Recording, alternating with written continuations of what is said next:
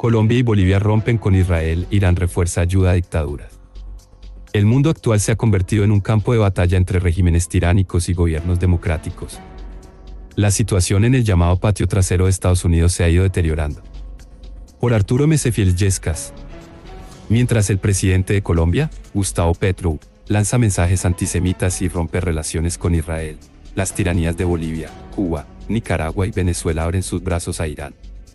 Estos países casualmente coinciden en su silencio cómplice respecto a la invasión rusa en Ucrania. Los países latinoamericanos tienen una importancia especial en la política exterior y defensa de Irán. Sudamérica es un tema muy sensible y trascendente para nosotros, dijo el ministro de Defensa de Irán, Mohammad Rezastiani, en una declaración pública en 2023. Bolivia rompió relaciones diplomáticas con Israel y firmó un memorando de cooperación con el Ministerio de Defensa de Teherán. Por si esto fuera poco, Bolivia ha puesto sus ojos en los letales drones iraníes para mejorar la seguridad fronteriza. Patricia Bullrich, ministra de Seguridad de Argentina, ha dicho fuerte y claro que Bolivia recibió más de 700 miembros de la Fuerza Quds de Irán, el brazo armado élite del Estado Islámico iraní. El régimen boliviano también ha creado una escuela antiimperialista para las Fuerzas Armadas de Latinoamérica. Los entrenadores de alto nivel son expertos militares de Irán, Cuba y Rusia. Venezuela también es un amigo y colaborador cercano de Irán.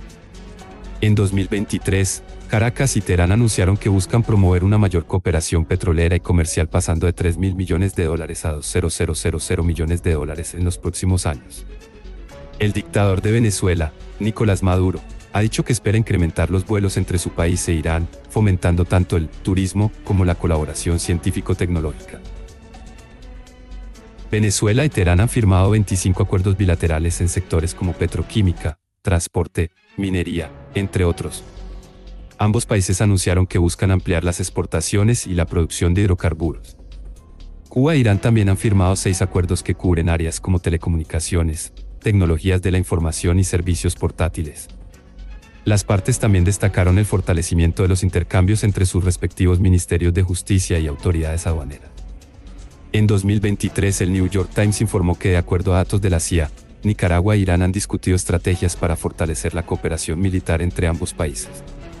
Los regímenes de Teherán y Managua únicamente publicitaron acuerdos comerciales y tecnológicos. El mundo actual se ha convertido en un campo de batalla entre regímenes tiránicos y gobiernos democráticos. La situación en el llamado patio trasero de Estados Unidos se ha ido deteriorando. Rusia, China e Irán avanzan sin freno en toda la región.